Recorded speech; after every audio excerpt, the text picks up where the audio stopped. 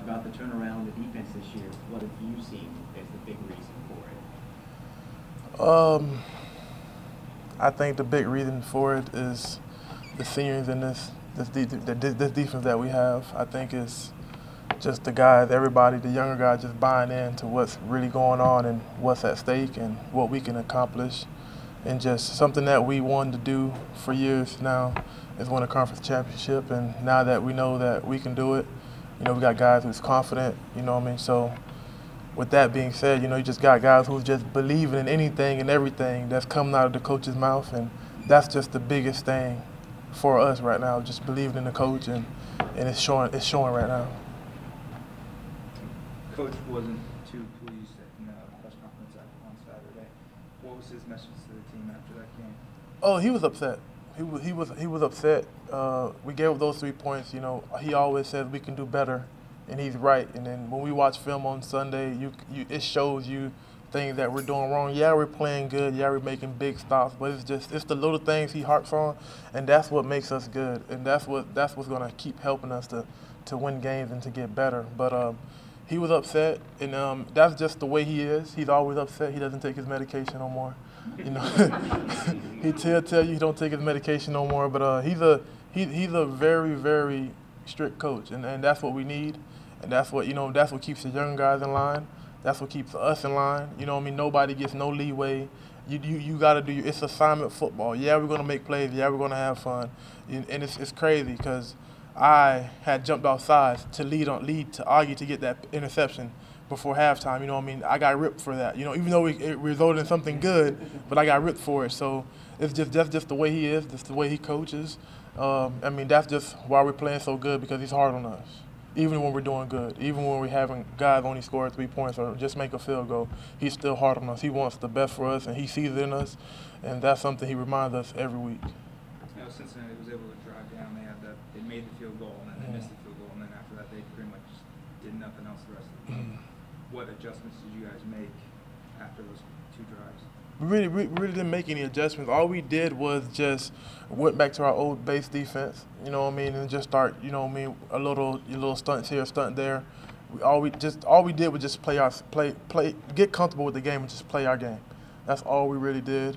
He was just telling us, you know, we got to make these plays. We got to stop the, the, screens. We got to stop the passes and all that. We got to convert on, on rush downs and stuff. So they were throwing the ball on first down, so we had to convert. So that was something we had to do and, and adjust to. But um, he all, all he did was just motivate us the whole game. You know, he was upset that they got the field goal, and and since then, you know, every every time we came on the sideline, he kept telling us we got to get going. The D line got to get going. D line got to get going. And so that's, that's that's exactly what we did. Without question, the most controversial rule in college football is the targeting thing, as you know full well. Has that changed the way you played or changed the way you attack? No, it didn't. It didn't, it didn't change nothing that I do. All it did was just, you know, help me get better, help me learn different ways of tackling. You know what I mean? I sat down with Coach Strong. I sat down with Coach BJ. I sat down with both of our defensive tackle coach, just asking them questions on ways I can do things differently. And one thing Coach Strong told me, and the first thing he told me was, play your game. You know what I mean? Play your game and just do what you do best. You know what I mean? It was just a bad call, and then the first one was on me. You know, I, I, I hit him too high. But other than that, just play your game. Um, I mean, I didn't change anything I do. All I do is just now, I mean, I got to lower my target, but I'm still playing aggressive. I'm still coming off the ball. I'm still, you know, trying to hit the quarterback, trying to get the most hits on the defense and whatnot. I mean, nothing has changed from my point of view. You mentioned uh, that you were offsides on the, the play that set up Auggie. Did, were you still on the field on the Auggie play? Yes, sir. Yes, sir. Yes, sir. I was still on the what field. What did you see? What did I? On, on the play where he picked it and re returned it, what, do you remember about the whole thing, about how it developed and oh? All I remember was that um, I jumped outside and I told everybody it's on me, I'm make it up. Uh, we went back and we got an odd front, and I had got a, a, triple team, and I tried to beat one man. And then when I'm when I seen him throw the ball, it's a quick throw. I see him throw the ball, and then I'm running to the ball. And next thing you know, I see Auggie just jump up and catch it. And when he caught it, all I just got, got back into doing our, our pursuit drill. I'm thinking he's going to take it to our sideline, but you know, I guess he saw everybody running that way, and I'm I hit the lineman. After I hit the lineman, I saw him cut it back, and I just ran to the end zone thinking he was going to score. Next thing you know, we're in the end zone celebrating, and, and everybody called him slow, but he he found a way to get in the end zone, and, and that, that was the best part about it. What was the, what was the film watching like on that, as the team watched that play? Well, the team watched everybody. Coach BJ said something funny. Coach BJ said he was happy that Auggie caught the pick, but then he was just like he didn't start celebrating until the 15-yard line because he didn't know if he was going to get in there. But uh, Auggie was running really fast. I mean, everybody was happy for Auggie. You know, he works really hard. He studies. He studies a lot, a lot of film, and just for him just to come up in, in big plays like that for us and our defense, it just helps us out each and every week. You know, because he already does a lot by setting us up, getting us aligned, and just by him just to you know I mean do big things like that is good for us and good for him. You've been around Auggie a long time. Mhm. You've played a lot of football here, made a lot of tackles, done a lot of things. I mean, what, what's your just observation of what he's meant to this program? Oh man, I that I give everything to this program, man. I, I don't. I honestly say, you know, we can function without Auggie, but we really can't function without Auggie. He knows a lot. He checks a lot. He does everything for this defense. He gets everybody right. You know what I mean? Just even when we're in our, even when we're in a, uh, the worst predicament we can be in, like a couple years ago, he kept everybody together. He he he kept us going. He kept us motivated. He's he's a he's a I, I see him as a true leader for us. And just just by saying that, like he's a brother to me.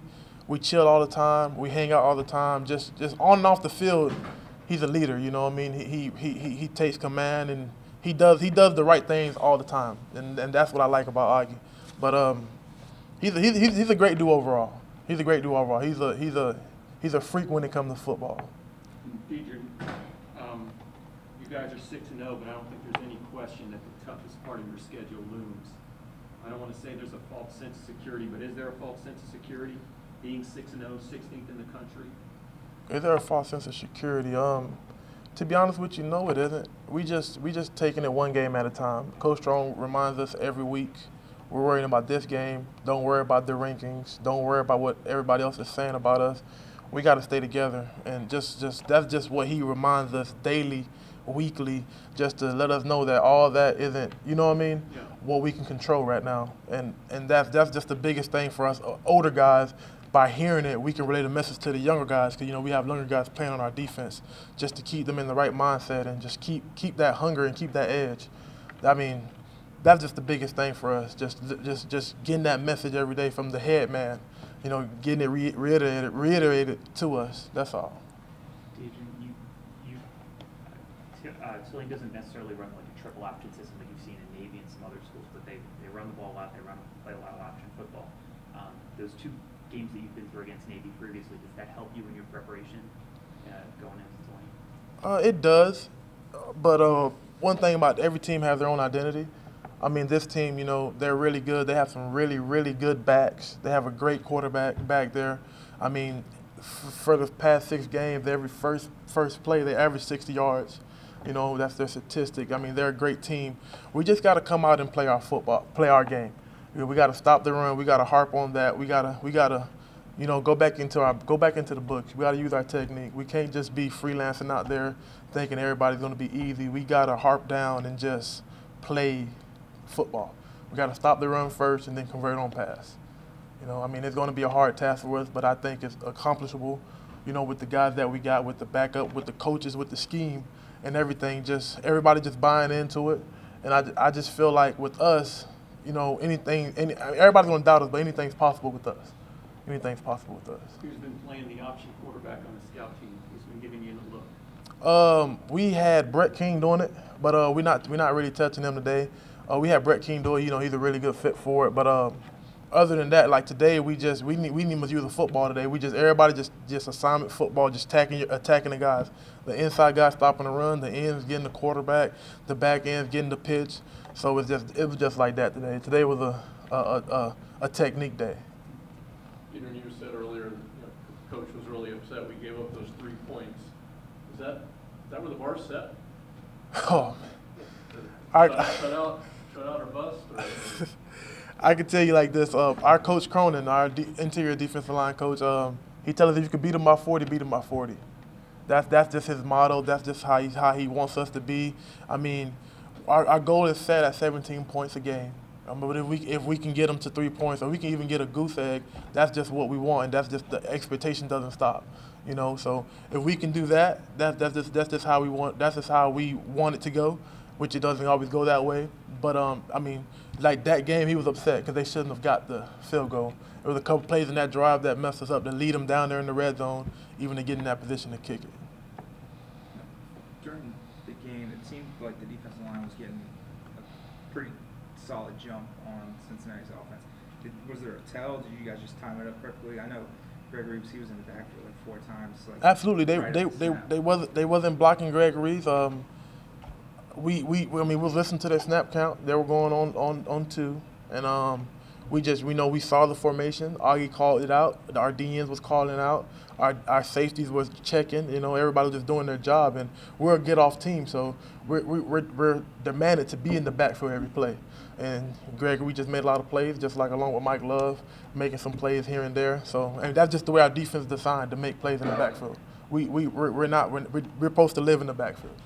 It was probably the most you've played with Greg Reaves standing up as the you know, kind of roaming uh, down the line. The Fox. Yeah. Yeah.